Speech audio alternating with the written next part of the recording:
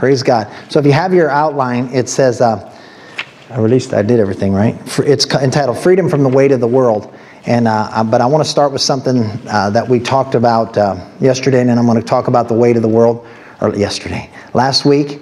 Uh, and Ephesians, if I could have Ephesians chapter 4, verse 26 and 27, we'll review here, because I, I, I know I talked about this, but I want to elaborate on it because it's absolutely powerful.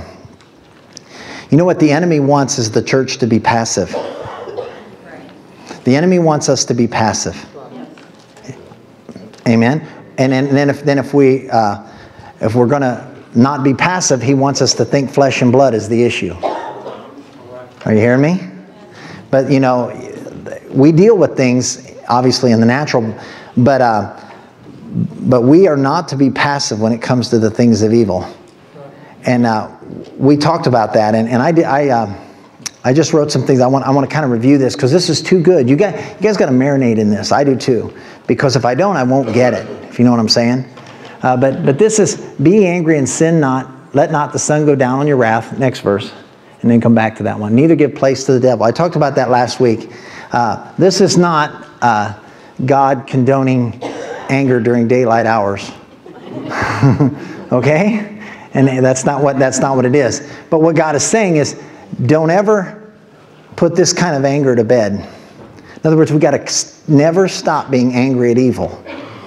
And for those that know me, when it comes to uh, New Testament Greek verbs, I love uh, tenses, voices, verb, uh, moods of the verb. I mean, because they, they're so, um, what I want to say, explanatory. They explain it.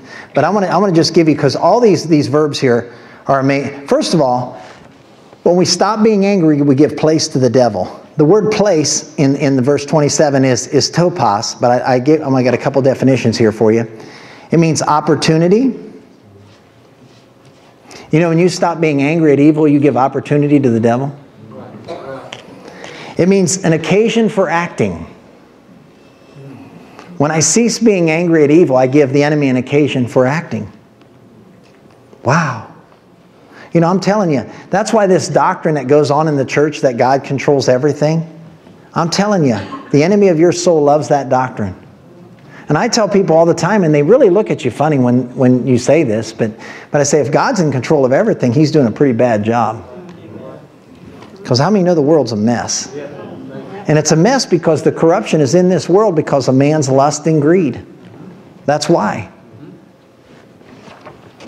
So when, when I stop being angry at evil, I give the enemy an occasion for acting. I give him power. And this is another definition. I give him any portion or space marked off. How many know we've been marked off for God? I give him a station that's held by us.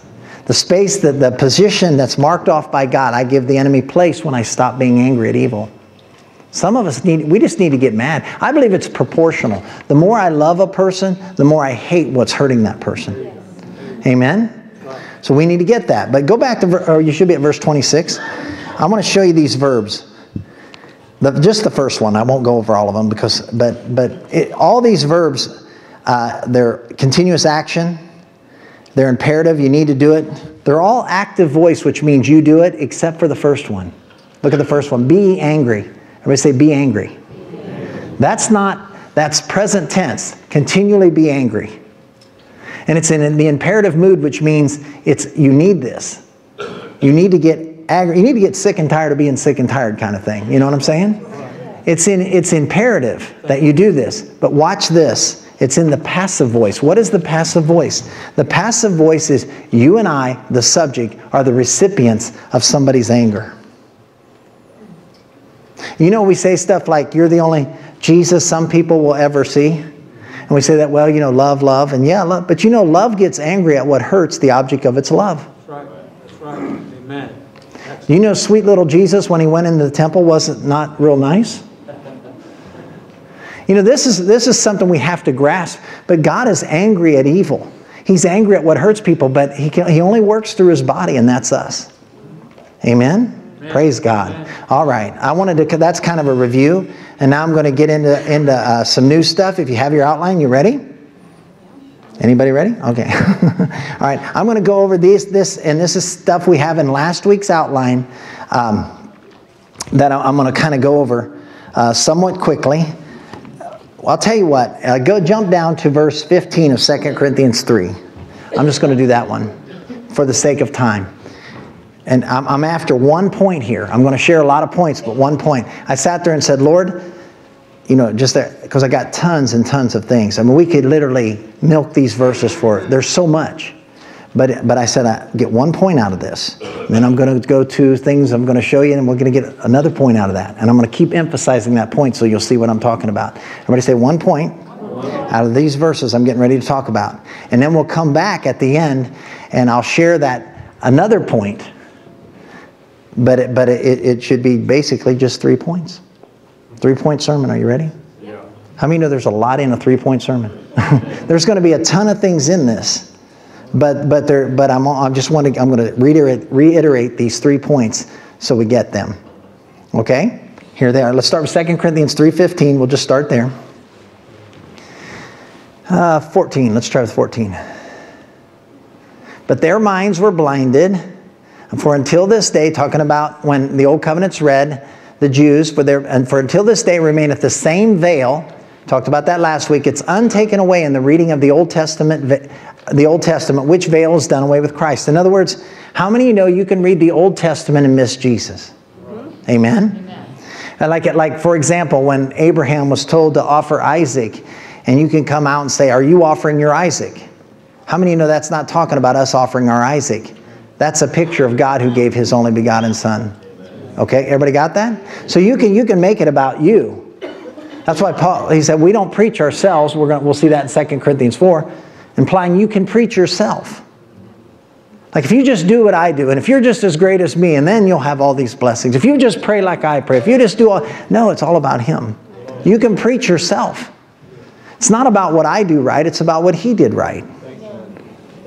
When they got that, it's called New Covenant. That's I said earlier, you know, you really can't grasp the good news until you start seeing the bad news. And the bad news is how much of a mess we all are Amen? I flip my button off. For, so their minds are blinded, watch this, in the reading of the Old Testament. But that veil's done away in Christ. Now watch this, when the heart turns to Christ. For even unto this day, when Moses is read, the veil is upon where? Their heart. What is the heart? This isn't referring to the physical heart, the blood pump, but the inner man. They're blind. In other words, they can't see it. And I've seen many, many, many people like this Christians, born again, going to heaven. When you talk to them about Jesus, they don't see it. That's why they sing songs like, like uh, Lord, just, you know, send your spirit, come down from heaven, create in me a clean heart. Oh, Lord. How many of that's an old covenant song? How many of that's in Psalm 51? But that God already took the stony heart out and put a heart of flesh, a heart that's teachable in you and I. Amen? But if you don't understand that, you can, you, can, you can read the Old Covenant and make the Old Covenant about you. You know what made David so great? We were just talking about this. King David, he would say stuff in the Psalms like, like you see in Revelation, like sing a new song. You know what the new song's talking about? The new covenant. You know what made, was so amazing about David? He saw outside of his covenant into ours. That's why he says, Blessed is the man to whom God imputes righteousness without works, saying, Blessed are they whose iniquities are forgiven and whose sins are covered. Blessed is the man to whom God will not impute sin. That's what David talked about. Paul quoted it in Romans 4 and it's in Psalm 32. David saw outside of his covenant into ours. You know, King Saul actually didn't wasn't near as didn't do near as much wrong as per se David did. Think about it. But David trusted in the Lord. David saw into our covenant. David yearned for what you and I have. That's why he was a man after God's own heart. Amen. For even unto this day, when Moses is read, the law is read, the old covenant's read, the veil is upon the heart. Now watch verse 16. Nevertheless, when it, the heart, shall turn to the Lord, the veil shall be taken away. When my heart turns to the Lord and I start seeing it's about Jesus and His redemptive work, the veil is taken away. You want a quick nugget? You want one? Watch this. Me and my pastor friend, we were going over the book of Revelation. You know, it's the revelation of Jesus Christ. You do know that. And I want to just show you something that's just so, so, so simple. Now, there were many things in there we said, I don't know. I have this thought, it could be, but I don't know. I mean, no, that's a good thing. But look at, look at Revelation 12. Watch this. In verse 9. I'll just show you. This is a quick nugget. And the great dragon was cast out, that old serpent called the devil and Satan. Who's the dragon? Satan, which deceiveth the whole world. He was cast out into the earth, and his angels were cast out with him. Next verse. When did this happen? And I heard a loud voice saying in heaven, Now is come. When? Now. is come salvation and strength in the kingdom of our God and the power of his Christ, for the accuser of our brethren is cast down, which accused them before our God day and night. Leave that up there. When is it? Now. Now. Now, now go to uh, John chapter 12, verse 31. Watch this. Watch this. This is so simple, but it's amazing how people miss this. Verse, uh, yeah, now is the judgment of this world. Now shall the prince of this world be cast out. See it? Next verse. No, go to verse um, 30. I want to do 30 and then we'll do 31. And Jesus answered and said unto them, This voice came not because of me, but for your sakes. Next, next, next verse. Now is the judgment of this world. Now shall the prince of this world be cast out. Next verse. And if I be lifted up from the earth, will draw all, notice it's in bracket, men unto me. It's not saying God's going to draw all men automatically unto him because men's italics. It's not in the original. He's saying, I'm going to draw all judgment unto me. Like a lightning rod draws lightning, that's where the judgment went at the cross on Jesus. Now watch this. That's what, and when he said, I be lifted up, he's talking about Roman crucifixion. I always thought it was about just go out and lift up Jesus and everyone will come running. I found out that doesn't work. Always, right? He's saying, if I be lifted up, he's speaking of Roman crucifixion. Now watch this. Go back to verse 31. Now is the judgment of this world. Now shall the prince of this world be cast out. Now go back to Revelation 12, 9 and 10. Watch this. Revelation 12, 9 and 10. You see the now is the judgment of this world. Now shall the prince of this world be cast out. Revelation 12. Now watch this. The devil deceived the whole world. He was cast out on the earth. His angels were cast out with him. Who was cast out? Didn't we just read that in John chapter 12? He was cast out. Now go to chapter verse 10. Watch this. Watch this. And I heard a loud voice saying, Now is come. You see it now?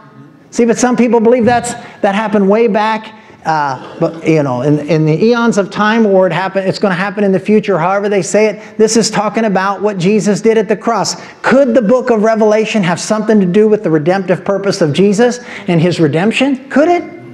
Could it have something to do with that? Could it be about Jesus, the revelation of Jesus Christ? All right, side note. I'm going back to being nice. See, this is, all, this is what I mean about a veil upon people's hearts. It says when Moses is read, the Old Covenant's read, a veil's upon their hearts. When the book of Revelation's read, many times a veil's upon people's hearts because they're not looking for Jesus and redemption. They're looking for what's going on in the middle of the East or who is the prime minister of Israel. And they're missing Jesus. Thank you for that head nod. All right, go back to 2 Corinthians 4. Watch this. What did I say, verse 15? Second, I'm sorry, 3. Verse 16, 2 Corinthians 3.16. Nevertheless, when it, the heart shall turn to the Lord, the veil's taken away. The more my heart turns to the Lord, the more the veil's taken away. That's not a one-time event. The more my heart's turning to the Lord, the more I'm seeing Jesus, the more the veil's taken away. How many know there's a veil many times when you read Scripture? How many people say, I just don't understand it? Amen. How many times? How many? How many of you have ever been to the place where you're reading the word and it's like, wow, wow. It's like it's like the it's open. You can see it. And then all of a sudden you go back. What was what did I see there? What was that? I forgot that. That's that veil that's on people's hearts. All right, verse 17. Now the Lord is that Spirit, and where the Spirit of the Lord is, there is liberty or freedom. Freedom from what? Anybody know? I used to think it was freedom that if you're one of them wild churches, you can run around and hang from the chandeliers and play Tarzan. That's not what it's talking about. You know what the liberty is? It's a freedom from having to measure up in your own merit. It's the liberty that's in Christ. It's the liberty that now there's no condemnation to those that are in Christ Jesus. It's the freedom. Free. Thank God Almighty, I'm free at last. It's freedom. It's true freedom. You know, you can be free on the outside and in bondage on the inside. Do you know worry and fear and torment is all, all forms of bondage? You know God doesn't want us to be fearful? How many of us deal with fear? I mean, I mean, listen, it comes at all of us. I got that. But God doesn't want me to be fearful. Hallelujah. Now we say that, but that's great, Chris, but how? See, your heart's got to turn to the Lord for the fear to be taken away. Yesterday we were coming out of a, uh, a mall in Muncie, and we were coming out, and Jen just about slipped, and she said, You know, I just felt led back there to start praying in the Spirit. And we were talking about that. and We wondered, you know, could she have fell and hurt herself? I think so. I think, I think God is constantly trying to protect us. But I think people don't, when God's prodding you to pray, there's a reason. Well, God can do what He wants. That's not true. If He could, God set this up. God does everything legally. Did you know that? Amen.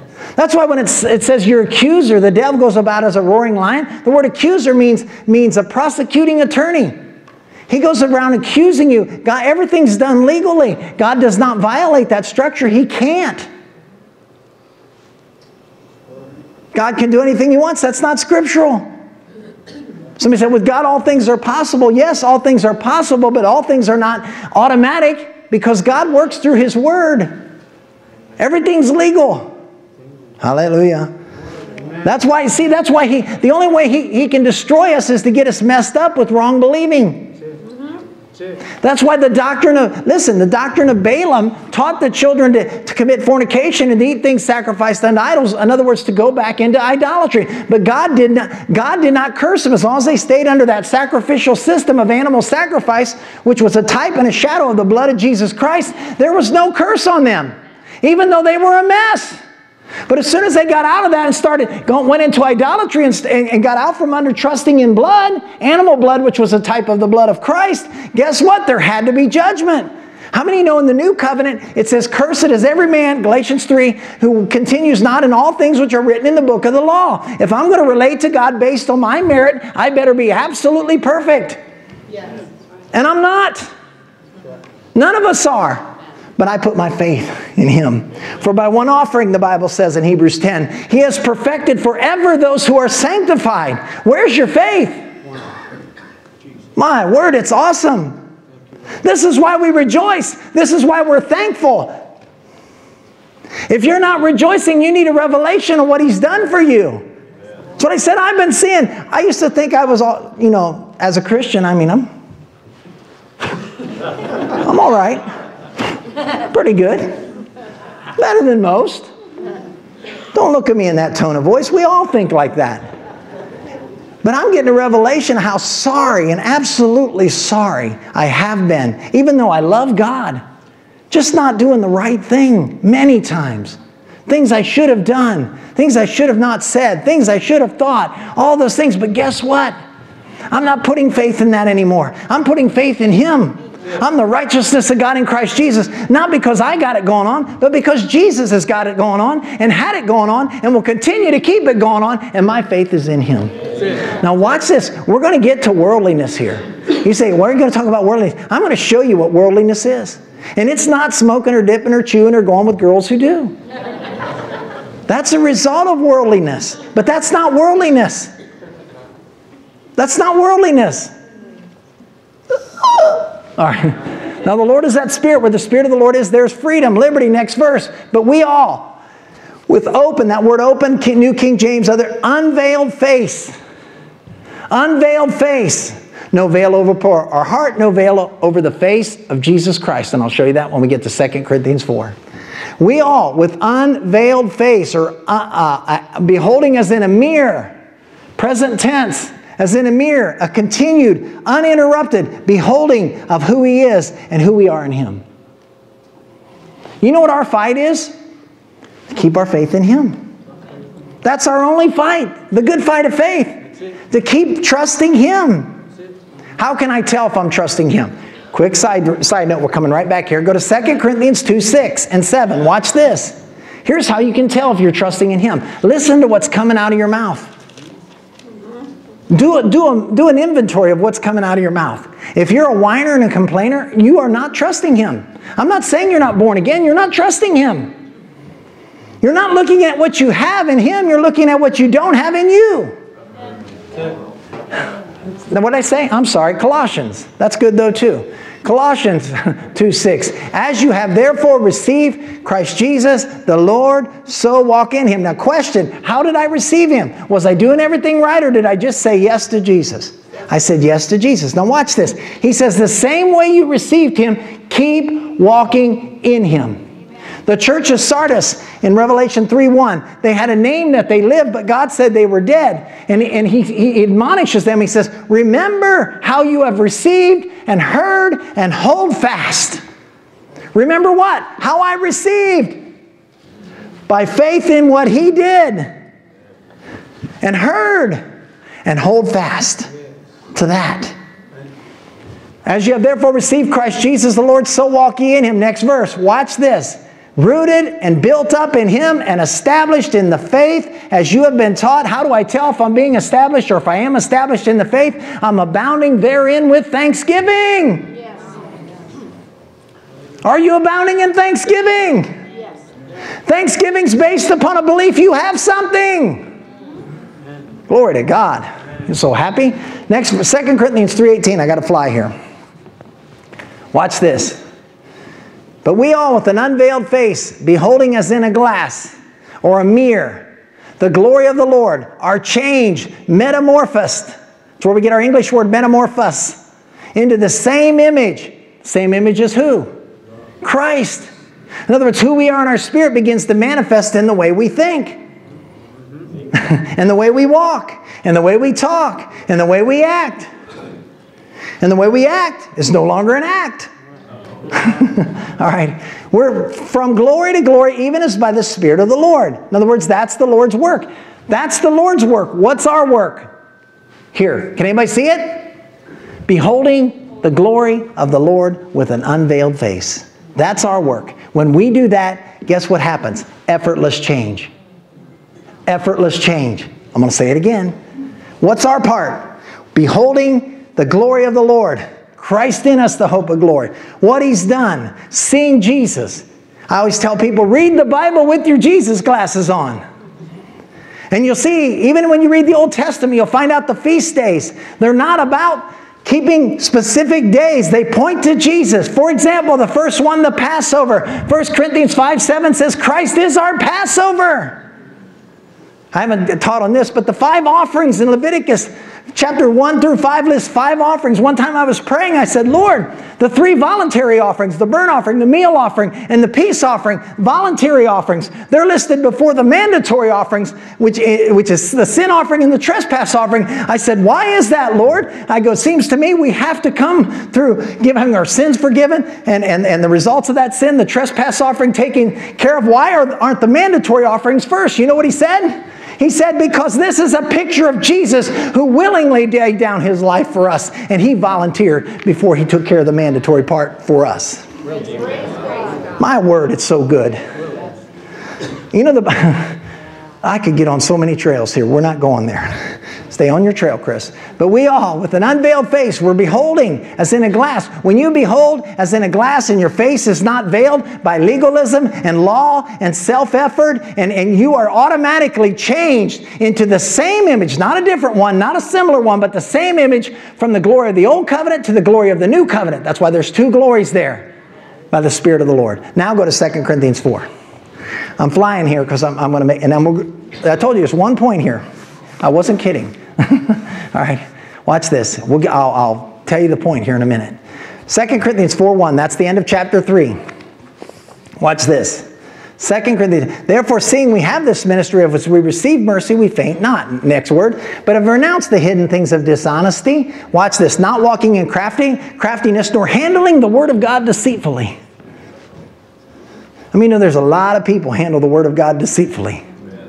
We, we're not camping there though. But by manifestation of the truth, commending ourselves to every man's conscience in the sight of God. Now here's what I'm after. Look at verse 3. Look at verse 3. But we have renounced, or verse 3, I'm sorry. But if our gospel be hid, stop, leave this up here. It is hid to them that are lost. Now the word hid, New King James, simply means veiled. The word hid means veiled. Now watch this. It is hid. The word hid is the Greek word Calypto, it means to hide, to veil, to hinder the knowledge of a thing. Now, notice he's talking about the gospel being hindered. You know, a lot of times when people say gospel, they don't even know what they're talking about. They think, help us get the gospel out. It may be the gospel as far as people getting saved, but it's not the gospel as far as our walk. Because we teach people that you get saved by what Jesus did, and then after that, you gotta, you gotta figure it out. He gets you started, and then it's up to you the rest of the way. He's the author and finisher of our faith. We keep preaching. He's, we got to preach him as the finisher, too. That's what, it, what Jesus said in John 15 when he said, You have to abide in the vine. You got to stay put. You got to keep your faith and trust in him. Now watch this. This is fascinating. This word hid here in 2 Corinthians chapter 3, it's in the perfect passive uh, uh, perfect tense passive voice. What does that mean? If our gospel is veiled, it's in the perfect tense. That means it's a present state because of a past action with continuous ongoing results. You can't see Jesus. Now, why, why, why is that? Why? It's a present state. What's the past action? Not seeing Jesus. Well, I don't know if it's they were taught wrong. I don't know what happened, but they're not seeing Jesus. Uh, for a long time as a Christian, I did not understand that it was all about Him. Now, I should have got it back in the 80s, and I did get parts of it, but how many know just a little leaven leavens the whole thing? And I was under some teaching, and it was all about me. It was all about my effort. It was all about how good I was, how good I was doing, how much I was praying, how much I was fasting, how much I was doing this, how much me, me, me, me. Wasn't about him. That's a veiled gospel. That's a gospel that's hiding the face of Jesus. I'm gonna, you know, it results in destruction. You know, a lot of Christians are most unhappy, uh, frustrated, angry, sick, all kinds of stuff. I'm not condemning anybody. I'm not saying, I'm just being real. Why is that? Anybody else want to know why? I need to know. just doesn't have the same effect without the hair. but if our gospel's veiled, perfect tense, passive voice means the subject receives the action. It is veiled to them that are lost. Watch this word lost. The word them that are lost is a continuous, ongoing verb. It's in the present tense. And what does it mean, lost? Does it mean lost and on your way to hell? No. Watch this. Here's what it means. Here is what it means it means to destroy, it means to put out of the way entirely, it means to abolish, it means to put an end to, it means to ruin or render useless. Have you ever seen Christians? They're rendered useless. Their whole world's about themselves, and they could care less that anybody else has any hardship at all. They're all, they make that small package because they're all wrapped up in themselves. How many know that's not God? You know that's a form of destruction? You know why that's occurring? The gospel of Jesus Christ, the light of Jesus is veiled. The fight is for the light. See, I always thought an unbeliever was just somebody out there that was an atheist or whatever, but there's a lot of unbelieving believers. They don't believe in anything Jesus did. It, yeah, Jesus got me, I'm going to heaven, but now it's all me. Wrong. Wrong. So somebody will get that. But if our gospel be hid or veiled, it is hid to those who are being rendered useless or being put out of the way. Next verse. In whom the God of this world or age hath blinded the minds, blinded the minds of them which believe not. Believe not what? That the gospel's about what Jesus did. Christians, this is not written to unbelievers. This is written to Christians. The gospel's still good news even after you're born again. Well, there's a thought. Did you hear that? We, see it's good news and, and, and, it's you come just as you are but two weeks after you're saved it's just as you better be and if you're not tithing in the first month of after you're saved god forbid he might strike you down and burn your barley fields that's what people say have a relationship with him I talk to our kids about giving and tithing and, and doing those things, but I say it's up to you.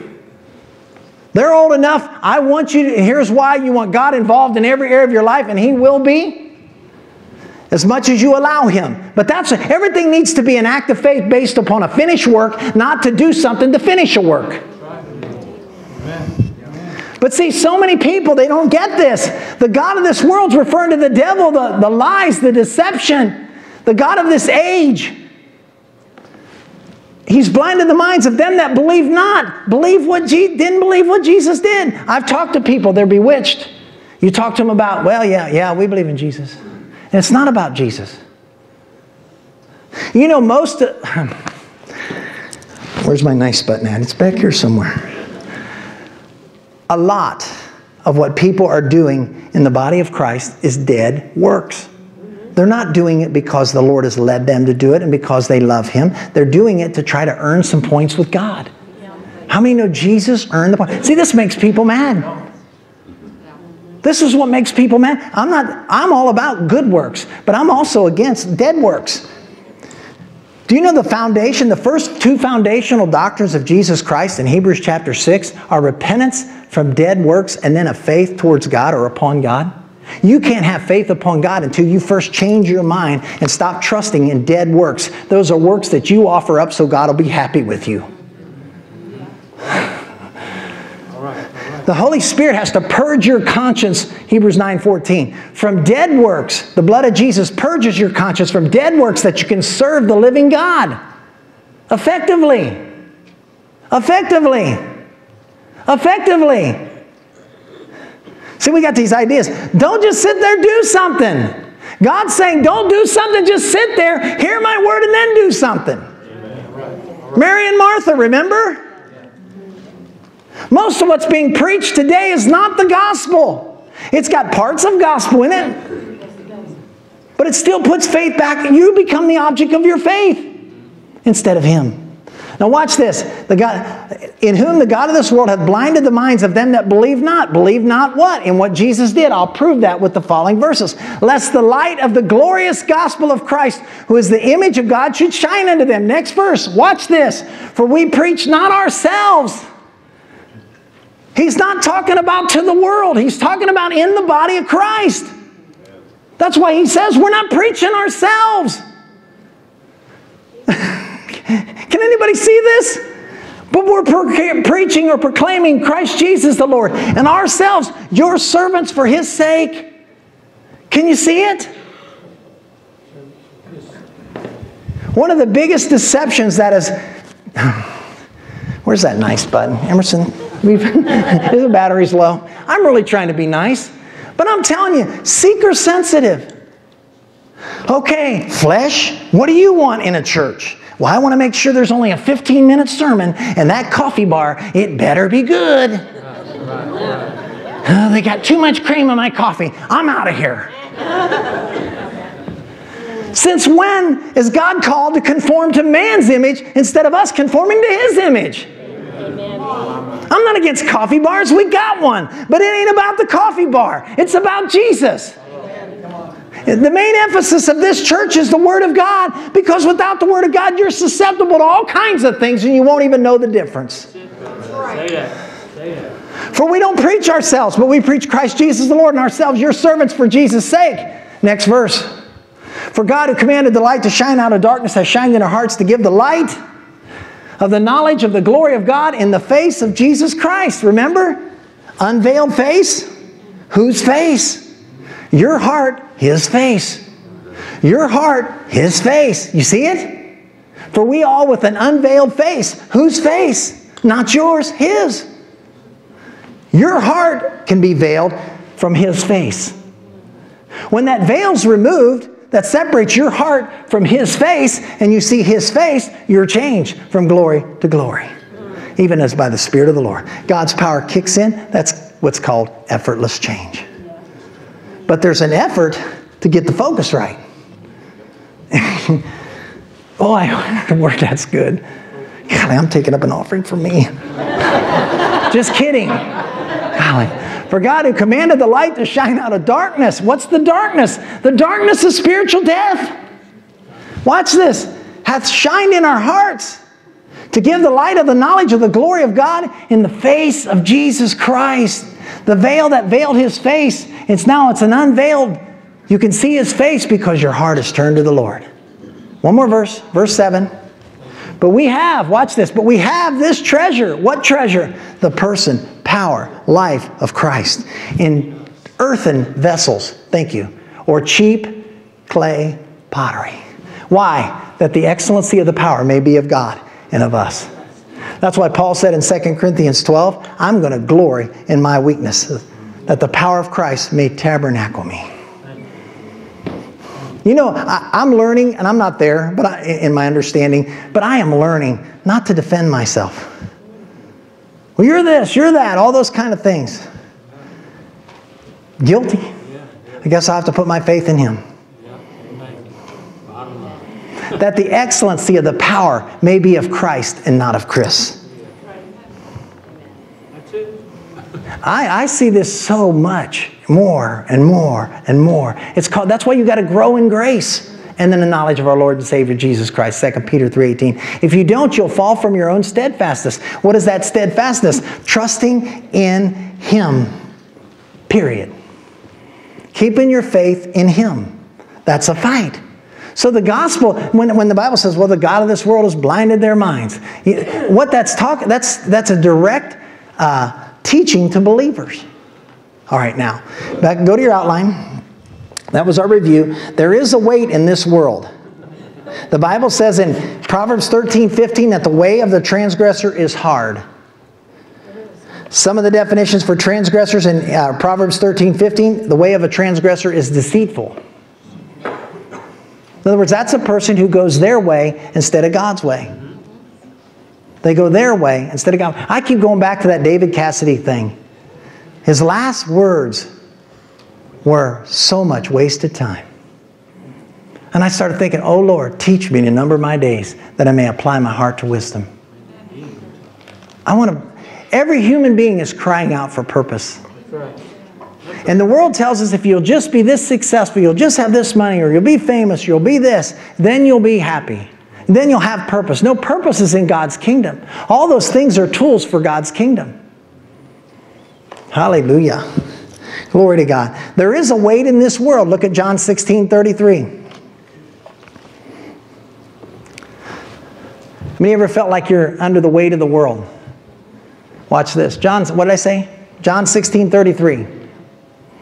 Jesus said, These things have I spoken unto you that in me, somebody say, in me. in me. That's Jesus talking, so it's in him, correct? In me you might have peace. In the world, in this system, in this cosmos that we live in, you will have tribulations. They're not from God. They're not from God. They're a result of being in this world. And aren't you glad God's good? Aren't you glad that's not God's putting stuff on you or God's not even allowing it? Right, right. Thank you. Thank you. There's stuff in this world, but he said you'll have the word tribulations is the Greek word thlipsis. One Greek expositor says it's when you feel like you got a boulder on your chest. Anybody ever been there? Nobody? Okay. Try to relate to me. but be of good cheer. Why? I have overcome the world. And why did he overcome the world? For you and I for you and I. Now, watch. Now, go to the point I'm trying to make is there is a weight in this world, then we're going to talk about worldliness, and then we're going to come back to our other point. There's a weight in the world. Look at uh, Romans 8, 16 and 17. 16 through 18, I'm sorry, 16 and 17. We'll do that though. Romans 8, 16. The Spirit, referring to the Holy Spirit, I don't like itself. The New King James says himself. The Holy Spirit's not an it. The Holy Spirit himself bears witness with our spirit. Boy, you could camp here. He doesn't bear witness with your head. So many people trying to live Christianity out of their head instead of from their spirit. That's why there's a lot of confusion. He only bears witness with your spirit. Pray in the Holy Ghost. Oh, did I say that? The Holy Spirit Himself bears witness with our spirit that we are what? The children of God. We're the children of God. That's what He bears witness with. You belong to Him. You belong to. Oh, sorry. That's that was a flashback. All right, next verse. and if children, then heirs of God, or excuse me, then heirs, heirs of God. Heirs of who? God. Heirs of who? God. Not the things of God. Hello, family. Heirs of God and joint heirs with Christ, if so be that we suffer with him. Oh man, that we may be we may also be glorified together. How many know that there's opposition against the things of God, right? And the suffering many times has to do with you groan because you're of undesirable situations you see in the world. I groan when I think of people in North Korea and what that wicked regime is doing to its own people. That causes me to groan. That's so terrible. How can, I've often, how can human beings do things to other human beings? I mean, it's beyond me. It's demonic. It's demonic to, to, to it just blows me away. See, that's that groaning. Next verse that, that Second Corinthians talks about also. For I reckon, a lot of people don't know this, but Paul was from the South. I'm just kidding. For I reckon that the sufferings of this present time are not worthy to be compared with the glory which shall be revealed in us. Putting it all in perspective. So there is a weight in the world, right? There is a weight in the world. Okay. Now, this is what point uh, this is what I'm, I'm going to review these points but worldliness is a result next thing of a veiled heart thus veiling the light of the revelation of jesus christ. Worldliness is the result of a veiled heart. What is worldliness? Why does and why does the whole world like lie in wickedness? 1 john chapter 5 verse 19 notice what it says. Let's just look at it. The whole world somebody say the whole world lies we know that we are of God. Well, let's stop there. We could camp there. And we know that we are of God. Do you know you're of God? Yes. Okay. Do you know it? Okay. We know that we are of God, and the whole world lieth in wickedness. The Greek says literally in the lap of the wicked one. Worldliness, here's what it is. Here's the definition of worldliness. You ready? Worldliness is man operating independent of God. Now I'm going to show you that. Worldliness is man operating independent of God. That's worldliness. Because of rejecting Christ as the only way unto the Father. Worldliness is a result of man operating on his own, independent of God. Jesus said in Luke chapter 16, verse 15, He said, You are they who justify yourselves among men, but God knows your heart. For that which is highly esteemed among men is an abomination in the sight of the Lord. Worldliness is man operating independent of God. Worldliness is gracelessness. That's what it is. Now, let me, let me show you something. Go to um, 1 John 3. We're, we're hurrying here. Let me. 1 John chapter 3, verse 1 through 3. Watch this. Behold, what manner of love. Look at what manner of love. Behold, what manner of love. The word behold means look. Pay attention. Look at what manner of love the Father hath bestowed upon us.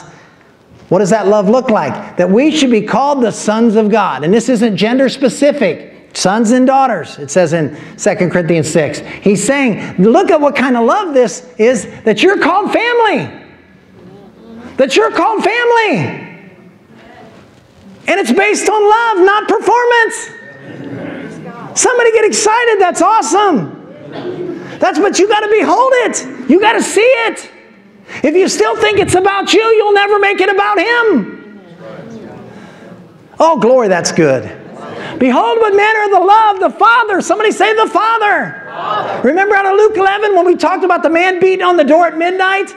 And we always think we're the guy on the outside beating on the door rather than the, the children on the inside with their father who are rest in bed. Jesus is trying to change their mindset. And he goes right into it, said, which of you, being, being an earthly father, you being evil, know how to give good gifts unto your children, how much more will your heavenly father give good things in Matthew? And the Holy Ghost unto them that ask. You're in the family. Go to the refrigerator and get a sandwich. Get some chocolate milk or white milk or whatever you want. You're in the family. Look at this. Behold, what manner of love the Father hath bestowed upon us that we should be called the sons of God. Therefore, the system, the graceless system, doesn't know us because it did not know Him. How can you, Emerson Winfield, be a son of God? I know you. It's not because of me, it's because of what He did. Ah, whatever. You think you're great, don't you? It isn't about Him being great, it's about the faith in the one who is great. You know, they did the same thing to Jesus. This is the carpenter's son. Who does he think he is? A son of God, whatever. Right? Now look at this next one. Look at this next one, the next verse. Beloved, beloved, beloved, now. What's a procrastinator? Somebody who won't take Now for an answer, right? Behold, now are we the sons of God. And it doth not yet appear what we shall be. We don't have our glorified body. People think I do, but I don't. Why are you laughing? Emerson, you're smiling too much. It doesn't appear what we shall be, but we know that when he shall appear, we shall be like him, for we shall see him as he is. There's going to be a change that takes place. Isn't that exciting? So, what is worldliness? Keep going. Worldliness is, a, is, a, is man operating independent of God because of rejecting Christ as the only way to the Father. It's a spirit of Antichrist. World, here it is, uh, letter uh, B. Worldliness is gracelessness, resulting in the pride of life. Second, uh, First John 2.15. I think my time's up, but I'm just, I'm, I'm trying to hurry here. First John 2.15. Love not the world. This is agape. This is the God kind of love. Don't let it go to the system. Don't let it go to the system. Don't let it go to the system. Direct it towards God. The love that's been shed abroad in your heart by the Holy Ghost. Neither the things that are in the world. If any man loves the world, it's because God, the love of the Father is not in him. He doesn't know how much he's loved by the Father. That's why he's loving the world. Think about it. You're not going to cheat on somebody that you know loves you. Right? You're not going to run from somebody that you know that loves you. Go to the next verse. I'm, try, I'm going to try to get these verses in real quick. Verse 16. For all that is in the world, the lust of the flesh, the lust of the eyes, and the pride of life is not of the Father, but is of the world, and the world passeth away, and the lust thereof. But he that doeth the will of God shall abide forever. The reason he loves the world is because he does not know how much he's loved. We've made that legalistic. We've beat people over the head and say, Bless God, if this is you, then God's mad at you, and he's ticked at you. But the problem is, they don't know the love of the Father. And if they know the love of the Father, they won't direct it towards the world. Amen. Now praise the Lord. Worldliness is gracelessness. Go to 1 John chapter 4 verse 4. 1 John chapter 4 verse 4. Now watch this. Ye are of God little children and have overcome them because greater is he that is in you than he that is in the what? World, in the system. Now we always pull this verse out and say we've overcome this and we've overcome that and that's true. But what is he talking about? Who are the them? You ever ask those questions? Go to 1 John 4 1 and we'll, we'll, we'll run up to it. Watch this. Beloved, believe not every spirit, but try the spirits. Test the spirits whether they are of God. In other words, the spirit behind what people say, test it. The spirit behind what people say, test it. You know, a lot of people can say new covenant things with the wrong spirit, with a legalistic heart. Or, not everybody who's got the right heart says everything perfectly, like none of us do. And, and it's not just what the person says, it's how people hear too. But that's why he says, try the spirits that are behind what people are saying. Try the spirits which are behind what people are saying. Test the spirits which are behind what people are saying. Next verse. No, leave it up there. Whether they are of God, because many false prophets are going out in the world. Next verse. Watch this. Here's how we know the Spirit of God. Don't you want to know how to know? Don't you want to know how to know? Watch this. Every spirit, what people say, that confesses that Jesus Christ is come of the flesh is of God. Well, I, I confess that. Well, Jesus said in Matthew chapter 12, How can you, being evil, speak good things? This is talking about the spirit behind what people say. And, and the spirit that confesses that Jesus Christ is come in the flesh is of God. What's that got to you? Look at the next verse. And every spirit that confesses not that Jesus Christ has come in the flesh is not of God, and this is that spirit of Antichrist, wherever you heard that it should come, and even now is already in the world. Antichrist, I told you before, means not only against Christ, but in place of Christ. Every spirit that confesses. Now, watch this. This gets so good. What's the big deal about that? Because Here's what we're saying when we talk about the new covenant and removing the veil from your heart. Jesus came in the flesh, which means he took care of sin in the flesh. He condemned sin in the flesh. Romans 8 3. If Jesus, the Spirit, if you preach sin, the Spirit is eh, behind what you're saying, is saying Jesus did not come in the flesh because you're exalting sin instead of the Son. Because if he came in the flesh, he didn't come to condemn the world, he condemned sin in the flesh. The reason it's antichrist and not anti God. It's in the place of Christ. It makes it about your sins instead of about Him. Now, watch, now look at verse 4. Look at verse 4.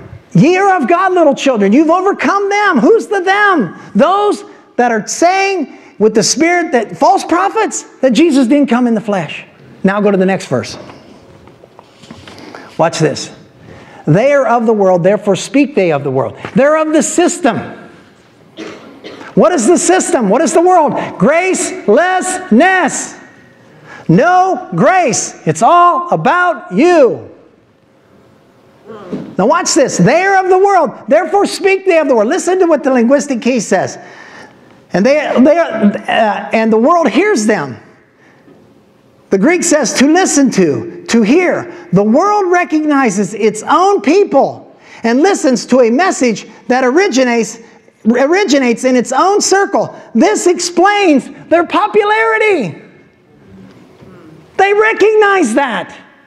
People recognize do good, get good, do bad, get bad. But the world doesn't recognize you get good because he took your bad. That's not fair. Yes, I agree. It's not fair. Jesus had to take my sin and he knew no sin. But he did it because he loved me. Glory be to God. Worldliness is gracelessness. One more. Now, oh Lord, help me. One more. James chapter 4, verse 1. Watch this. I'm going to do this real quick. James 4, verse 1. We're just about done. We really are. Watch this. James chapter 4, verse 1. From whence come wars and fightings among you? I mean, how does this stuff occur? Bickering and wars. Come they not even of your lust that war in your members? Next verse. Ye lust and have not, you desire to have and cannot obtain. You fight in war, yet you have not because you ask not. You ask and receive not because you ask amiss, so that you can consume it upon your own lust. Next verse. Ye adulterers and adulteresses, don't you know that friendship with the world, you make yourself an enemy of God? If you're going to relate to God the way the world relates to God, well, I don't keep the Big Ten, but I keep seven of the Big Ten. That's a 70, it's passing, right? It's never about you. It's only about Him. That's why it's good news. And if you get a revelation how messed up you are, which is why God gave the law, you'll throw yourself at His feet and say, Glory to God, thank you for Jesus. You adulterers and adulteresses, know ye not that friendship with the world you make yourself the enemy of God? Whosoever therefore will be the friend of the world, the gracelessness system, the graceless system, you make yourself an enemy of God. it's like cheating on God. As the bride of Christ, you're cheating on God. And here's another nugget. Everybody says the marriage supper of the Lamb is just future. Oh, there's a future consummation. Thank, thank, there's a future awesomeness. Don't get me wrong. We're not minimizing that. But if you're not married to Him now as the bride of Christ, it's illegal for you to use His name and it's illegal for you to be intimate with Him. You are the bride now. Not going to be. Thank you, Jesus. She can't use my name if we're not married legally. Okay. One more. Know ye not to be a friendship of the world's enemy God. One more. A couple more verses maybe. Well, and I'm, I'm flying. But he gives more grace. You know, if God gives more grace, there can be less grace. How many want more grace? My hand's up. Take notes, Lord. How many want more grace? Okay, whoever said amen. Whosoever, wherefore he saith, God resists the proud, but he gives grace to the humble. You can get more grace. What is humility? Not being an adulterer, operating like the world, operating in gracelessness. Next verse. Submit yourselves therefore to God. Resist the devil and he will flee from you. Next verse. Draw nigh to God and he will draw nigh to you. Cleanse your hands, you sinners, and purify your hearts, you double minded. Be afflicted and mourn and weep. Let your laughter be turned to mourning and your joy to heaviness when it comes to self trust. When it comes to self trust. Don't be an adulterer and think you got it going on like the world wants you to think. Think it's about him and not you. Glory to God. One more. Humble yourselves therefore the, in the sight of the Lord, and he shall lift you up. The spirit that dwells in you wants you all to himself because he loves you. Amen. And if you'll humble yourself and say yes to that, guess what? You'll operate in the grace of God. He'll give you more grace. Worldliness is simply a graceless system. So here's my final point. I don't know how I got, but, but the final point is when your heart turns to the Lord, the veil's taken away, that's over, that's over a person's heart, and it's removed from the face of Jesus, and you start seeing Jesus. That's why you can rejoice all the time. That's why you can glory in God right now. That's why you don't have to be afraid. I don't have to be afraid. How many of you know fears as our kids get older? Fears attack. What about this? What about that? How are we going to do this? What going Anybody been there? Those things try to get on all of us. But you don't have to fear. God's got your back. But make sure you're receiving more grace. Don't be a friend of the world by going out with the world and saying, okay, I'm going to do it like the world does because I can make it because I'm a self made man or a self made woman. You may think that now, but don't be like David Cassidy and get to the end of your life and say, so much wasted time. How much more could, could have things have been different? Amen. I pray that David Cassidy got saved, by the way. I don't know. Pray that he did. I pray that he's in heaven. Amen. Hallelujah. Thank you, Jesus. Give the Lord a hand.